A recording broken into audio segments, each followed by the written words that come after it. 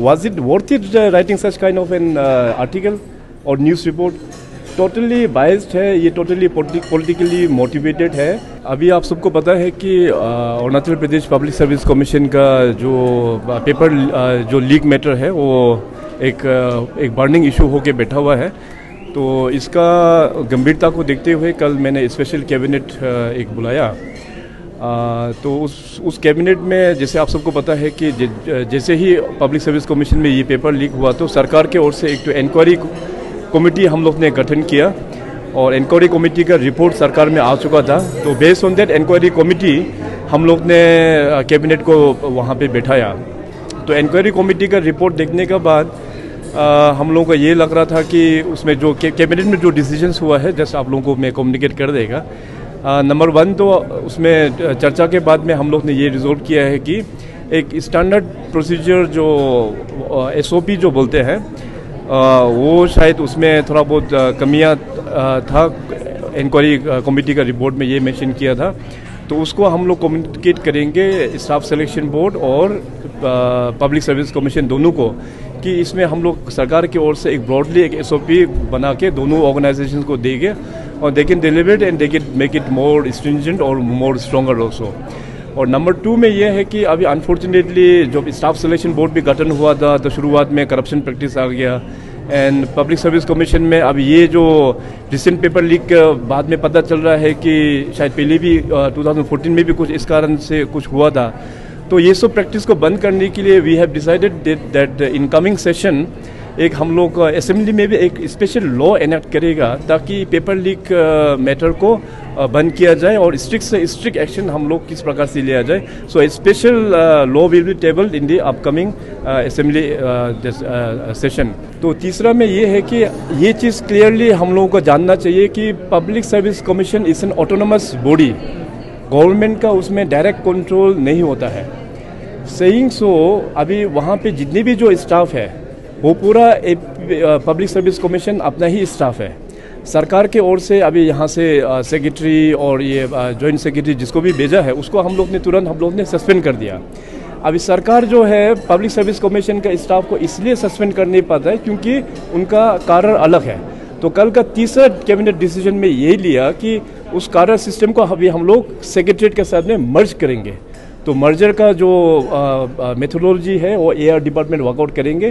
तो इसका बाद क्योंकि हमारा डे वन से ही यही आ, मेरा ये निर्णय था कि इस बार का जो पेपर लीक होने का बाद it was a total setback for the people of Arunachal Pradesh और उन बच्चों का उन यंगस्टर्स का जिन्होंने इतना मेहनत करके अपना कॉलेज और यूनिवर्सिटीज़ पास करके इतना मेहनत से जो प्रिपरेशन जो किया है उन लोगों के लिए ये बहुत बड़ा सेटबैक है।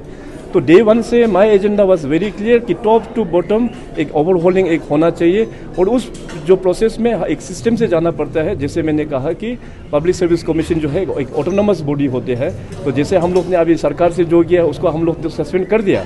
अभी नेक्स्ट स्टेप जो है जब ए डिपार्टमेंट कल हम लोग मर्जर का हम लोग ने बात कर जब डिसीज़न एडोप्ट कर लिया तो जैसे ही मर्जर का ओके हो जाएँगे तो वहाँ से भी स्टाफ जो है पूरा हम आ, निकाल देंगे। तो इस प्रकार का अभी हम लोग ने इनिशिएटिव हम लोग ने शुरुआत ये किया हुआ है। देखिए, इस पूरा जो विषय को लेके क्योंकि जनता में एक कॉन्फिडेंस हो और एक अच्छा क्लैरिटी आने के लिए एक पब्लिक सर्विस कमीशन में जितना भी जो अभी घोटाला हुआ है, जितना भी जो प्रॉब्लम्स हुआ है, उसको हम लोग ने अभी सीबीआई को हम लोग ने रिकमेंड कर दिया है। तो सीबीआई को अभी दिल्ली में भी फॉलो अप हो रहा है। हमारा यूनियन मिनिस्टर किरण जी भी सीबीआई का डायरेक्टर को रिक्वेस्ट किया कि ये बहुत इमरजेंसी एक मैटर है। सीबीआई जल्द से जल्द यहाँ आके इसको सोल्व किया जाए। तो जैसे सीबीआई आने का बाद में केवल यही एग्ज़ाम नहीं, बल्कि पुराना में भी किस प्रकार से हुआ है, उसका भी पूरा छानबीन करेंगे।